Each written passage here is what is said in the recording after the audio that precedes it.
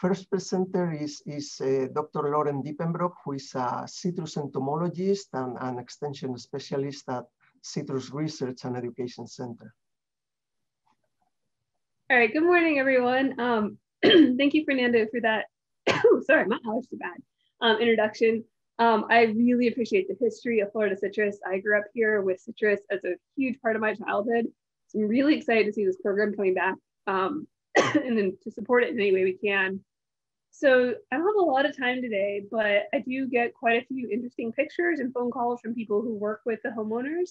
And so I wanted to go through some of the pests that I get lots of pictures of, um, kind of damage that they do, and some ways that we can think about managing them that are more specific to homeowners because you're not going to have the whole arsenal that we have in a grove.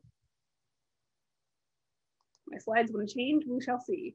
Come on, slides. There we go. All right, so the first one is public enemy number one for us. This is the Asian citrus psyllid.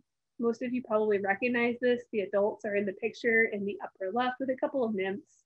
And the bottom picture on the and on the left is also nymphs with a whole bunch of honey of waxy honeydew coming off the rear ends. That's usually how we find them is all that waxy honeydew. You can see that usually before you see the nymph. So who are they? They're really small. They're mobile hemipteran insects, so they have piercing sucking mouth parts when they feed. That's how they transmit the bacteria for HLB. Um, we worry about them because they infect plants with that bacteria when they feed. And so once it's infected, the plant's always going to be infected for now. Maybe at some point we'll have a way to clean it up. But basically, when it comes to psyllids, we want to try to reduce um, their feeding pressure, both for your plant health, plants don't like to be fed on by lots of pests, and to reduce the reinoculation of HLB. And so things that you can look for to find these, um, waxy waste products, so that white waxy honeydew, it's really obvious, it just sticks out like a sore thumb. Ant trails, we know that ants like to tend um, psyllids. So when I say tend, that basically means they're going up, picking up that waxy honeydew because it has all sorts of good sugars in it and they take it back and feed their colony off of that. So they'll clean up those psyllids. If you see a trail of ants, you probably should check it out because it could be a number of pests that you don't want. So for the homeowner, um, how do I kill it? This is the question I get the most.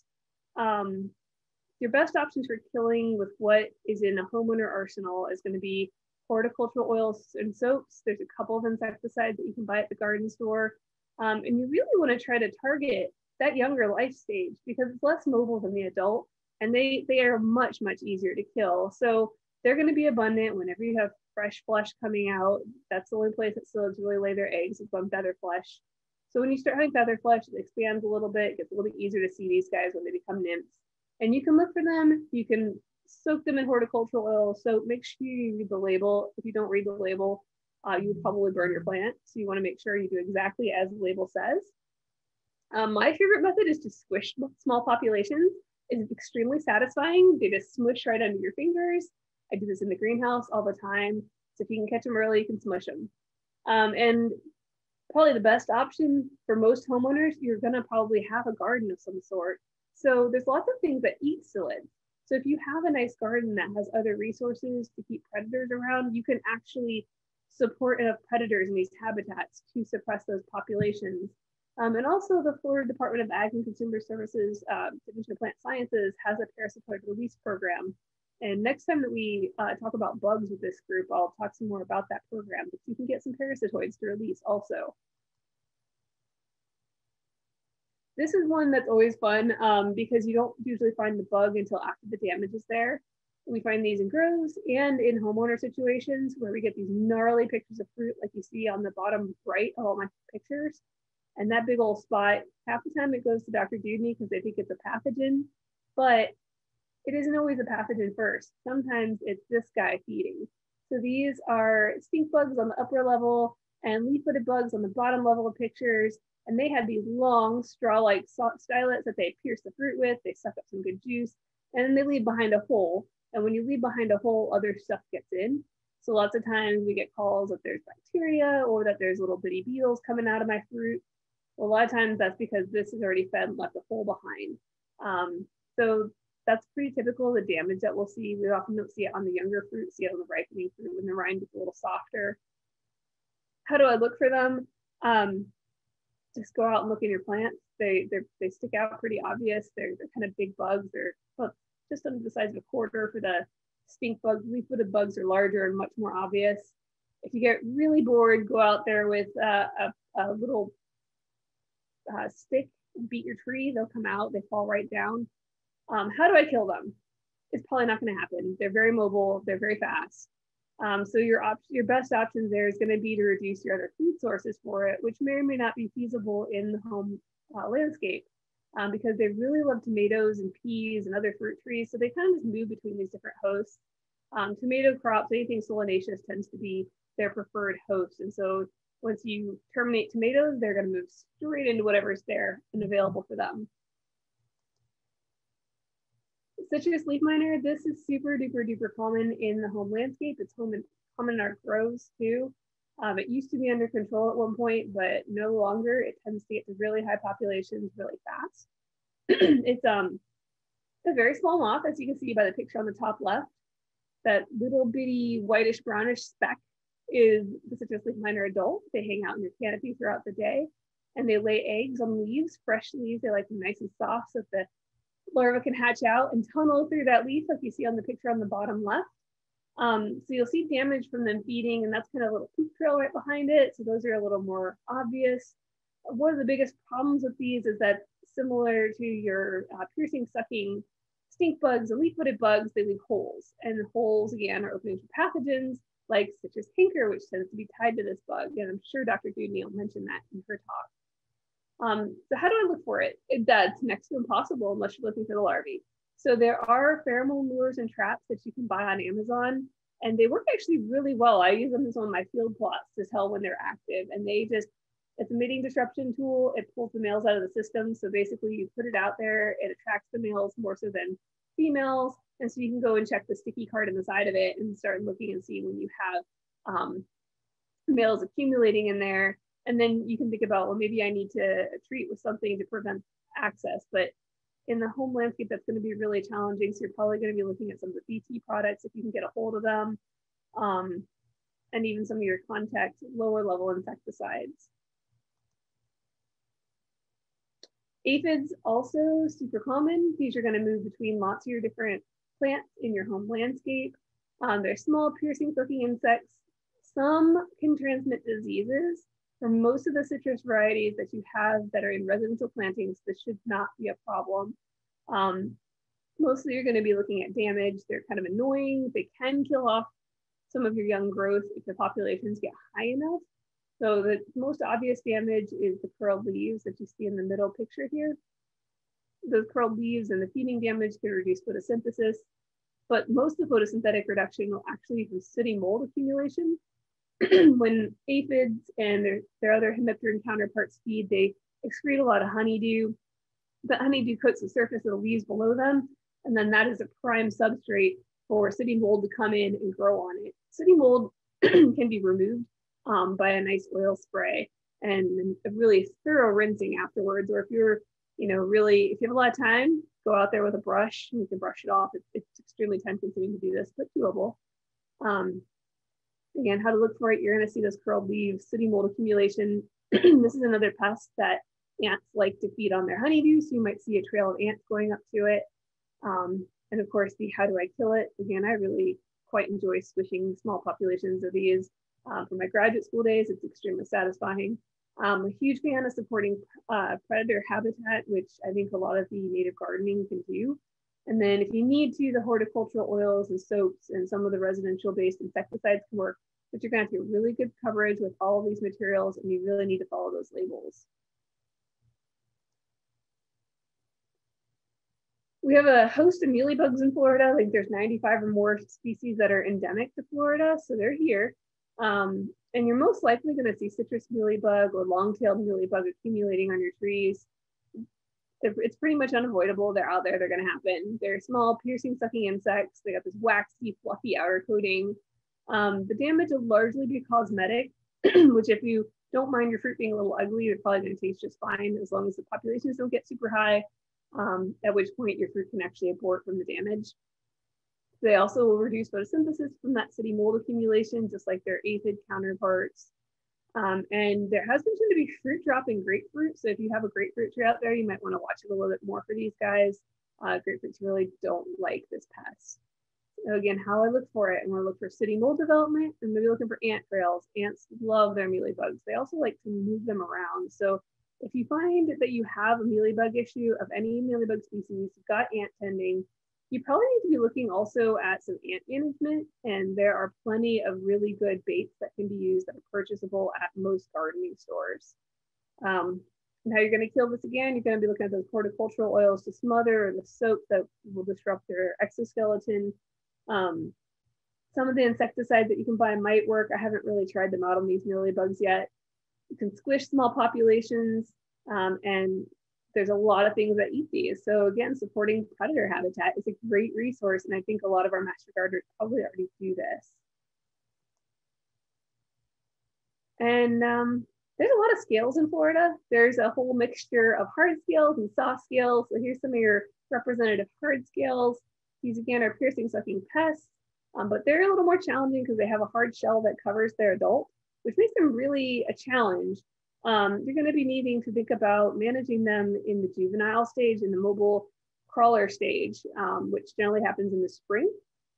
And that can be watched for if you already know you have these hard scales on your trees go out and scrape a little section of the tree, put a some clear yellow or clear um, double-sided sticky tape around the stem, and then check it every week. When you start seeing crawlers, like the little bitty guys with legs stuck on it, that's when you should think about putting on oil or horticultural soap. Um, they're really easy to kill at that stage, just with that contact oil even. Um, and they can, depending on the species, they can kill your tree, they can cause fruit damage most of the time this is not a huge issue in residential just because you guys tend to have so many other plants in there that tends to already be predator population that'll take care of some of those younger scales. Soft scales, similar, piercing, sucking, but these are a lot easier to kill because they don't have that hard shell on them. Um, again, sooty mold issue. Then we'll be looking for sooty mold accumulation, ant trails, and same couple options there. Horticultural oils and soaps work great. Squishing can be fun. Um, and the predator habitat is super important for these guys. Eastern lubbers, you're they're just going to happen, and unfortunately, they are very damaging. They eat, like to eat a lot of foliage. Um, you'll see them chewing on pretty much every plant you own.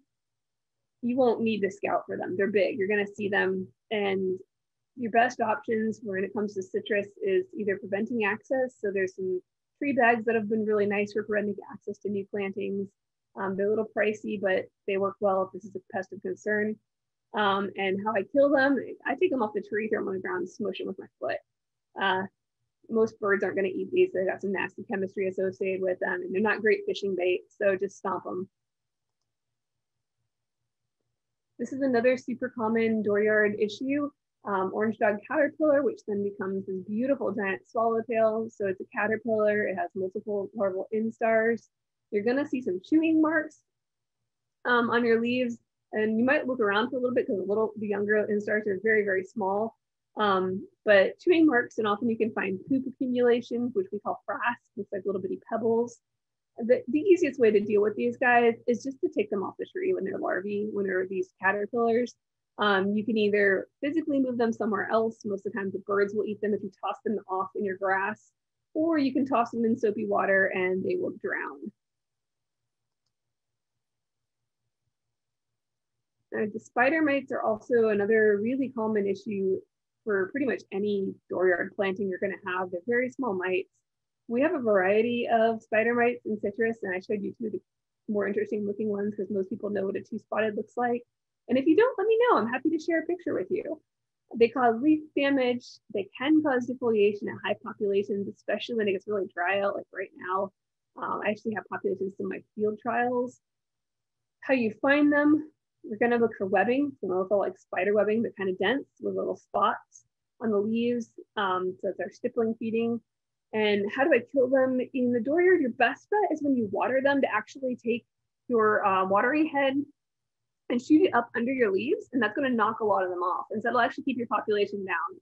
Um, in times when we have a lot of irrigation over or rain, then they're not a huge problem. But yeah, that watering from below works amazingly well. We actually do this in our greenhouse. It's a trick that one of uh, my technicians taught me. And uh, horticultural oils can work well with good coverage also. And rust mites, these are kind of hit or miss in the dooryard. I've had a couple calls, but not as many as I expected. Um, they're very small mites. They're very hard to scout for. Um, you're you're probably not going to see them without a trained eye. So at some point, I'm sure we'll have a hands-on workshop. They do cause fruit rind damage. Um, at a high infestation rate, which is not super likely in the dooryard, you can get um, some some impacts on your fruit.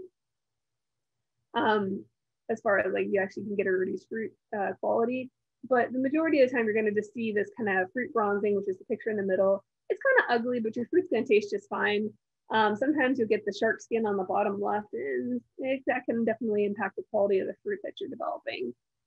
Um, your best bet is going to be to hit them with horticultural oils. They like dry periods also, so they are going to accumulate in these drier periods. Like right now, you'd probably find them, and you'd probably find them again in the fall when we get dry. I actually target most of my spray trials in the fall when it's really dry out for this particular pest. Oils work great. Um, even oils in the field work better than a lot of our chemistries, so that can be a really nice option. The other great thing is that a lot of times there's a naturally occurring predatory fungus which I suspect is probably more prevalent in dooryards than in the groves because you're not going to be spraying some of the stuff we spray out there. So hopefully there aren't a huge issue for most people. I had a few minutes left on this talk before I take some questions, and I had to show you my predatory insects because these are my absolute favorite part of the dooryard system and the stuff that we can think about. So most of the pests that you're going to see on your dooryard citrus, you can control by creating habitat that allows these predators to establish. And there's a suite of predators on this screen that you, that you can see in front of you on the top. There's two spiders, one of which is eating a Diaprepes. Um, the picture below the one eating the Diaprepes is a long-legged fly. They come in multiple colors. They're little flies, long legs, shiny bodies, amazing predators of all the soft squishy stuff. Um, your lady beetles, which is the bottom two are on the left, are adult lady beetles. The third one from the left is a larval lady beetle. Um, those will eat most things soft and squishy. And also they, they like to munch on pollen and mold spores too. So you might see them in those areas. Um, if you go over the right hand side, you can see the booty of an earwig eating. Earwigs um, get a bad rap. People think they cause damage to their fruit, but a lot of times they're actually feeding on other stuff that's established in the fruit. They eat lots of soft, squishy stuff. Um, and then next to it on the bottom is a minute pirate bug. And they, in that similar manner, similar manner, love all the soft squishy stuff. These often will naturally recruit to your habitat. Almost everything on this picture will naturally recruit um, if given habitat. And several of them you can actually purchase if you really want to or need to supplement your, your predatory insects in your habitat. Um, so there's a lot of biological control options out there if you want to add to the system which I think is really cool. And we also have a suite of specialist predators, and you might see some of these established. So I really wanted to show you, especially the picture. Um, I'm gonna turn a little highlighter on here. Of these guys, these are mealybug destroyers, and they're often found around, these are the larval version of the mealybug destroyer, and this is the adult. Um, they're often found near uh, infestations where you have mealybugs, and sadly, a lot of people think they're mealybugs and they wind up squishing them along with their mealybugs. So you don't want to squish these guys. If you watch them, they walk around a little bit differently. Their wax color is slightly off from what you see on the mealybugs. You want these. These are amazing predators. They're the best thing we've got when it comes to mealybug control. They specialize on them. The adults um, have an odor receptor that picks up the smell of the wax of the mealybug. So they really tune in there. They lay their eggs um, into the mealybug clusters where they'll hatch out and feed on them. And to the best of my knowledge, they feed on every mealybug species we have in Florida. So these are great. Um, and these are actually something that is purchasable too. So if you wind up getting a really high population of citrus mealybugs and you can't get it under control, uh, we have several biological control companies where you can buy some of these from and release them if they're not showing up and you can't get your population under control. On the bottom there is Tamarixia radiata. This is the Asian citrus psyllid parasitoid that I mentioned that you can get from FDACS. So the Florida Department of Ag and Consumer Services Division of Plant Sciences has an entire rearing facility where they work on this, where they work on rearing this parasitoid and they make these available for homeowners. And so there's a whole dooryard program where you can actually apply and get a vial of them shipped to you. They prey on the Asian citrus psyllid nymphs and basically what they do, they lay their egg on the underside of the nymph. and the, the egg is underneath here when it's developing. It develops inside of this nymph, it's kind of attached onto it, and then it pupates and pops out the top of the nymph. So if you see an, um, this little shell of a nymph left over with a hole, this beauty probably came out of it and is moving on to attack other stuff. So that's really exciting, and I always love seeing those in the field. So this is another option um, if you need some Asian citrus psyllid control. The timing is really important because if you release it when you have all adults, they're not going to do anything. Um, but if you release it as you're getting flush come on and they're laying eggs and you have nymphs out there, those nymphs are what they want. Um, so for your home planting, um, managing with cultural controls, providing habitat for predators means giving them places where they can find other food resources. So you might have a couple plants that you know can handle some pressure from aphids. Um, and so aphids are a great food source for most of your predatory insects. Um, so you can have a couple of ornamentals around that have low levels of insect pop or pest insect populations where your predators can build up and move on to these areas. Um, there, there's whole plantings and insectaries in some places where they just try to get those predators going, and they do a great job of it um, for control of pests in many systems. You can do mechanical removal, um, so that's going to be removing stuff mechanically, like your uh, orange dog caterpillars. One of the best ways to do this is to just toss them in some soapy water. All you got to do is take a, a wash bin, put a little bit of dish detergent in there, fill it up with some water. The dish detergent breaks the surface tension so the bugs sink down to the bottom of the water instead of staying on top, and then they'll drown in there.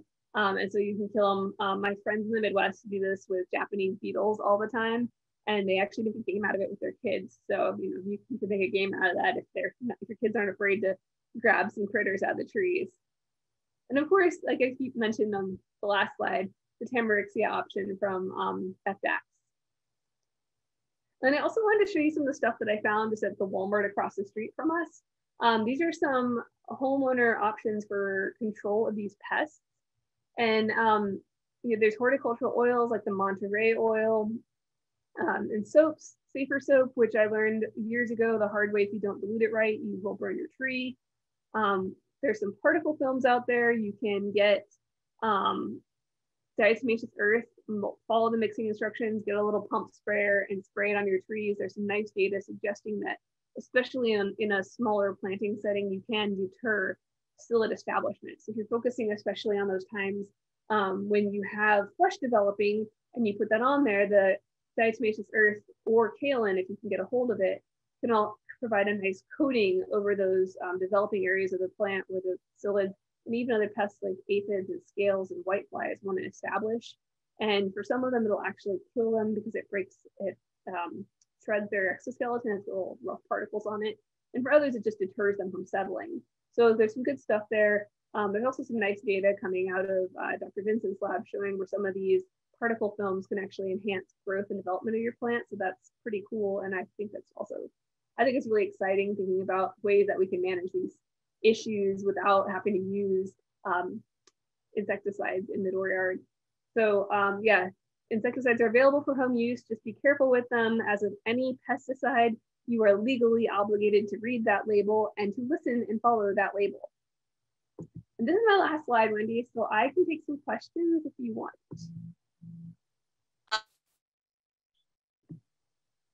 Okay, Thank you, Lauren. That was awesome. We have we do have quite a lot of questions, so I will get to them for you.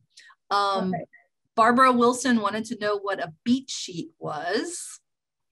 Oh, you know what? I don't have it with me, but so we we buy these as entomologists. You can totally just make your own. Take an old pillowcase, make a little frame in it so it stands uh, um, taut, basically like you're gonna have like a little kite, and then just take um, your broom from your kitchen walk out with your beat sheet underneath the tree, bang it with your broom a couple times and see it falls down. We actually do a modified, uh, kind of a fancy version of that for sampling for psyllids in the field too, but you can spend money on the true one for entomology, but I'm cheap and I like things I can make out of my household products. So that's what I would make that out of. Great. Yeah, I when you go to garage sales with the entomologist, they're they are looking for white sheets. I'll tell you that. Mm-hmm. Oh and, yeah, yeah. Uh, um, and then rem- remember, if you're using your beat sheet to bring your hand lens and maybe a little light with you so you can visualize those insects well. Um, and then Sandy and Juan were wondering about the pheromone lures for the um, leaf miners. Where where are those available, or would they be available to the public? So I bought them on Amazon. Um, I would be willing to bet a good gardening store probably has them, but there are at least two different lures that are on Amazon. I had meant to include them on here, and I apologize for that. I thought I put them on here. Um, Wendy, I can email them to you after. Um, okay. One from ISCA and one I cannot think of the other company, but they come with a little white pyramid trap and instructions on how to put them out and the lure that goes in there. Um, it's a really nice tool. I, I, like I said, I actually use them in one of my field projects just so I can monitor um, populations to know when I need to manage, when I need to spray for them. Right. Um, there's also insecticide-based ones, but I don't think those are available in the home landscape yet. So the lures are nice. They're great. They can also just help reduce the population in general by taking the males out of the system. Okay, awesome. Um, and then speaking of those kind of controls, uh, do, does Nolo bait help with the eastern lubber grasshopper? I am not familiar with Nolo bait. I will have to look that up. I think it might be a nosema. It might be a biocontrol parasite. I have no idea. I haven't actually used anything that works on that grasshopper. It is one of the things that we try so many things and yeah. It's um it is the it's the nosema locustae um it's a pathogen and it's the thing with the you know i always tell the mgs only the young die good. So if you are seeing a, a emergence of those lubbers maybe you could get some control with the nosema Nolo bait but by the time they get any size to them you got to run over them with the truck a big truck. Or a big food Good. So um, someone's wondering, will uh, T. radiata eat whitefly? No, but there are parasitoids and predators that will. Um, in particular, those um, those minute pirate bugs are amazing for whiteflies. There are specialized parasitoids. I don't know if you can actually purchase them here. I've never seen them on the list. Um, the other option is, uh, and I didn't put it on here, but entomopathogenic fungi. So Botanigard works great you can buy Botanigard ES at your local garden store. It is very easy to apply with a pump hand sprayer, um, and it works really well for things like whiteflies. Great. And then Sandy wants to know, do the orange dog caterpillars like other plants? Um, they tend to prefer citrus, but they will feed on some other plants if that just happens to be where their eggs get laid. They don't look as fat and juicy um, if they go on a less preferred host. Yeah, so other members of the Rutaceae, uh, like our native wild lime, uh, Zanthoxylum uh, fragaria, I believe it is. Um, so one of the things you could do is to have that also in your landscape, and then you could do hand picking off of your citrus and move it to the other citrus. Um, I was thinking about that. So.